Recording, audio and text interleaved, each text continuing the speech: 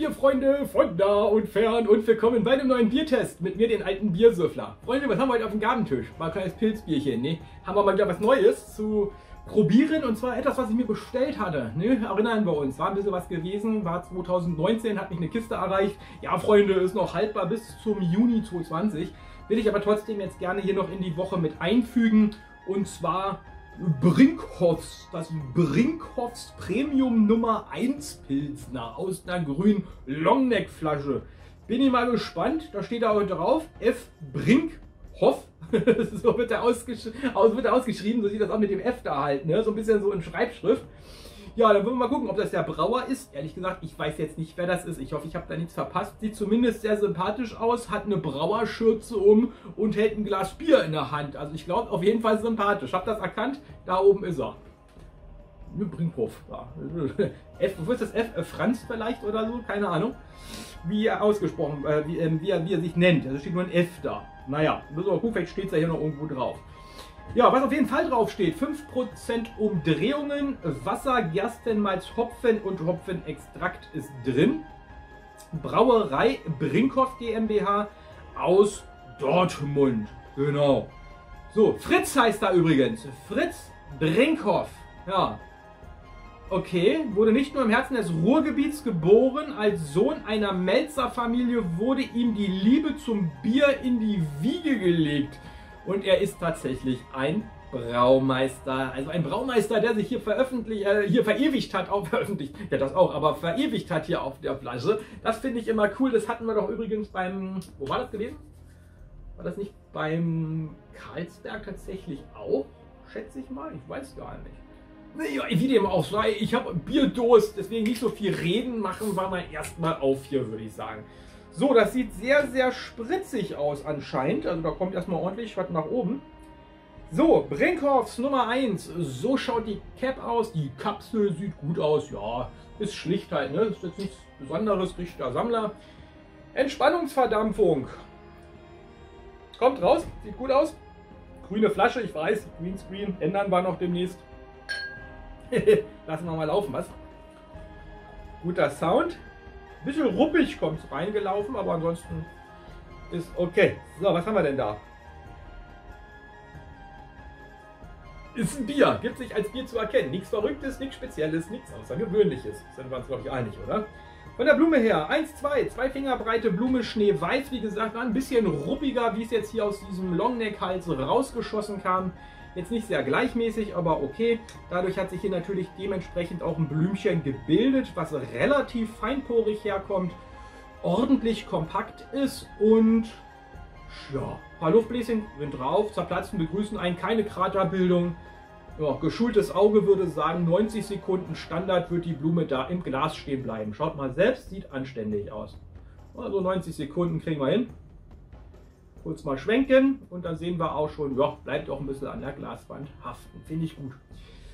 Von der Farbe her, glänzend filtriert, klassisches Getreidegold, vielleicht ein paar Nuancen, Farbnuancen heller als jetzt so das, was wir gewohnt sind, aber ich würde ganz klar klassisch vom Getreidegold sprechen. Schön glänzend. Äh, Blumenteppich, keine Risse, keine Löcher oder Inselchen. Karbonisierung deutlich vorhanden, perlt gleichmäßig, mittlere Perlung schaut von der Optik her zumindest erstmal spritzig aus und das Ganze hat auch eine solide Tiefe, sodass ich alles andere sagen würde als den Begriff wässrig, sondern ja, das geht schon eher auch so ins Saftige mit rein. Ja, Leute, was soll ich sagen? Das sieht richtig ansprechend aus, richtig lecker. Gebe ich 5 von 5, Schrägstrich 6 möglichen Punkten für die Optik, für die Ästhetik. Macht mir Appetit. So, dann wollen wir mal so ein bisschen hier anschnuppern. Gerade eben, als ich die Flasche geöffnet habe, da hat es schon ganz schön geschnuppert. Jetzt wollen wir mal schauen. Wow, Leute, wow. Das ist aber ordentlich grasig, ne? Ja, also da aus der Flasche kommt es auch raus. Also das ist schon sehr, sehr grasig. Das ist vom Hopfen ausgehend, Freunde. Das ist ein sehr grasiger, floraler Hopfen, der da jetzt gleich hier sich melden wird. Ich bin überrascht, dass da übrigens auch Hopfenextrakt drin ist, weil das riecht mir tatsächlich eher nach einem schon eher entwickelten Konzeptbier, sage ich mal so, ne? Möchte ich mal betonen. Das ist schon ein bisschen... Also vom Bouquet her würde ich jetzt auf was Hochwertigerem. Von der Einschätzung her, wenn ihr wisst, was ich meine. Ja, ich, ich hoffe, dass ich mich jetzt, ich, ich kenne es nicht. Ich, ich, ich kenne es erstmalig, ist eine Premiere. Ich habe mich nicht vorher informiert, ich weiß auch nicht, was da los ist, ob das beliebt ist oder nicht beliebt ist. Ich hatte das einfach nur bestellt. Nur jetzt rein vom Geruch her, das ist immer gut, wenn ich mich vorher nicht vorbereite, weil so kann ich objektiv da rangehen und das riecht meines Erachtens vom Bouquet her tatsächlich hochwertig. Also da ist ein schöner Hopfen, der merkt, den, den merkt man halt, ne, schon leichte Herbe. Und so muss das bei einem Pilzbier auch sein. Vom Malzkörper her eher ein bisschen dezenter, also von da erstmal alles richtig gemacht. Riecht angenehm, macht mir Appetit. So Freunde, mal sehen, wie es schmecken tut. In dem Sinne, ihr Lieben, mhm, genau, Antrunk jetzt. Auf euch, zum Wohl, auf das Bier und auf den Genuss. Wollen wir mal hier. Mhm.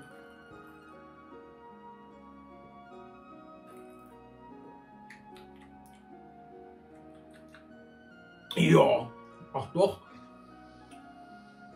Mmh.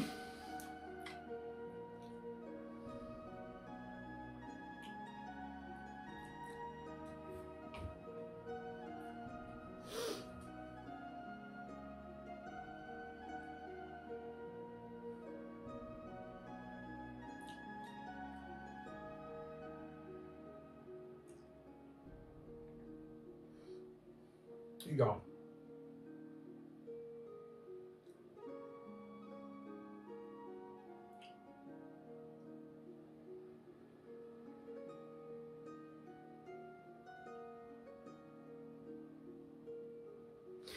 Ich sag mal so, der Antrunk ist auf jeden Fall erstmal geglückt.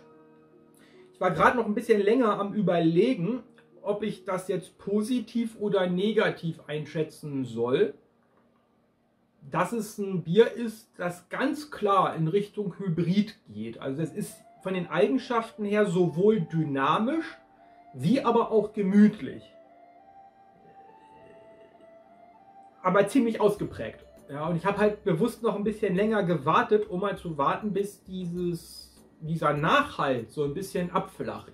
Bin jetzt allerdings nach reichlich Überlegung zur Erkenntnis gekommen, dass ich es mag. Ich würde es also positiv einordnen weil der Nachgeschmack tatsächlich sehr langanhaltend ist und auch wirklich das, was für ein Pilzbier relevant ist, nämlich eine schöne Pilzbierherbe im Abgang hinten, schöner hinterer Zungenbereich, ne, hier so runter, dass ich das, wenn sich das mit der Speichelneuproduktion verbindet, wo ich immer sage, dass es einfach angenehm ist. Und musste ein bisschen überlegen, ob ich das jetzt als angenehm empfinde oder eher als nervig.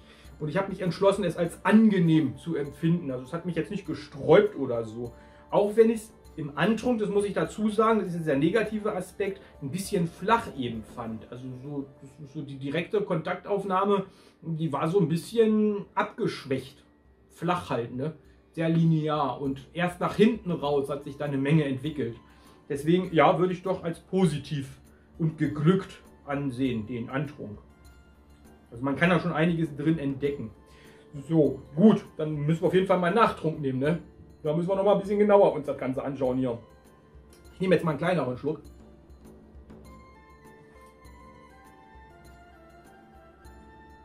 Ja, eindeutig. Wir haben es hier mit einem sehr schwach ausgeprägten Malzkörper zu tun, was für ein Pilzbier jetzt nicht untypisch ist, aber hier kommt er tatsächlich schon sehr, sehr flach daher und tatsächlich auch lieblich. Also er bringt so eine gewisse Lieblichkeit mit, ohne nussig zu sein, ohne extrem nach einem Getreidesilo zu schmecken oder nach nassem Getreide allgemein. Auch diese ja, Würzkomponente vom Getreide ausgehend ist hier nicht wirklich wahrnehmbar. Er verhält sich eigentlich eher wie bei einem hellen, sage ich mal so. Ja, so dieser eher mildere, dezentere, eher, hm, ja, ich sage jetzt mal wenig präsentere Malzkörper. Dann ist eine ziemlich kleine Lücke ja, dann hat man so diese Fruchtigkeit, ganz klassisch, überreife Apfel, überreife Birne, wo ich immer sage. Und dann kommt das Feuerwerk, das Genussfeuerwerk in Form von diesen Hopfen, die man da tatsächlich auch schon rausriechen kann. Der bringt eine deutliche Floralität mit, ein schön grasiges Aroma und äh, macht sich relativ stark. Also der ist sehr selbstbewusst. Finde ich gut, Muss auch bei einem Pilzbier so sein. Das gefällt mir, weil ich mag das, wenn es dann auch hinten so ein bisschen herber zur Sache geht. Und was ich besonders geil finde, ist dann wirklich so dieser Nachhall. Also jetzt immer noch, wo ich spreche, nach dem letzten Schluck, du hast immer noch dieses Herbe auf der Zunge. Das finde ich richtig gut. Das heißt also, der Fokus bei diesem Bier hier ist ganz klar auf den Hopfen gerichtet. Da gehen die ganze Rampenlicht ne, auf die Bühne, da wo der Hopfen ist. Der will sich präsentieren, der ist selbstbewusst, der hat Bock drauf, sich zu zeigen, sich zu erkennen zu geben und ja, verdrängt damit natürlich den Malzkörper. Jetzt kann man sagen, naja, aber wäre ja auch lecker, wenn man da so ein bisschen was Getreidiges noch schmecken kann. Gibt ja äh, Paradebeispiele, dass das auch funktionieren kann. Brauchen wir nur nach Baden-Württemberg zu gucken, nicht wahr? Da haben wir ja Pilzbiere, wo genau dieses Betonte von dieser Süddeutschland generell, wo so dieses Betonte vom Malzkörper ja auch bei Pilzbieren vorzufinden ist. Das mag vielleicht den einen oder anderen enttäuschen. Dennoch ist es aber nicht verwässert oder gar flach. Es ist halt nur anders.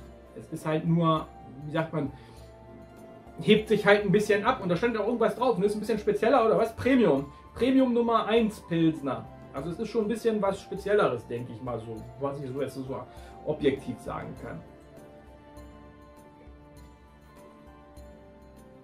Zum Beispiel die Kernigkeit. Die Kernigkeit vom Malzkörper, die man bei einem Pilzbier gewohnt ist, die ist hier komplett sekundär. Die ist sehr im Hintergrund halt gehalten. Geht quasi gleich über. Stellt euch ein helles vor, was am Ende richtig herb schmeckt. Bayerisches helles, ganz klassisch, was am Ende herb schmeckt. Ja, dann habt das. Vielleicht noch ein bisschen grasiger als als normal herb. Ne? So. Mhm. Ist okay. Finde ich gut. Kann man machen. Objektiv, Qualität, top.